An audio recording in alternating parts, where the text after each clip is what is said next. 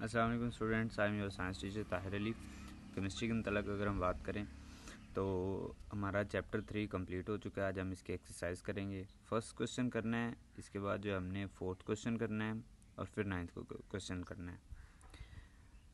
Eight question का answer भी आपको बुक में मिल जाएगा इजीली जब आप अटोमिक साइज़ के मतलब पढ़ेंगे टॉपिक डिस्कस करेंगे। बाकी फाइव क्वेश्चन भी इंपॉर्टेंट है, इसका भी आपको इजीली जवाब मिल जाएगा। हमने क्लास में डिस्कस भी कर लिया हुआ है। आज जो हमने बात करनी है, वो फ़र्स्ट क्वेश्चन के अंतर्गत बात करनी है।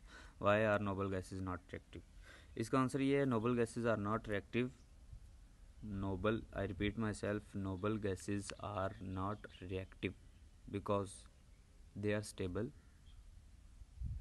they are stable. Point 1 they are stable. Second point, they have completed their outermost shell. This is the answer. Four question का है? Why shielding fact of electron make cation formation easy? By increasing shielding fact. Answer लिखें by increasing shielding effect, it become easy to remove an electron from outermost shell to make atom a cation due to loosely attraction of nucleus on electron. This is why shielding fact make electron formation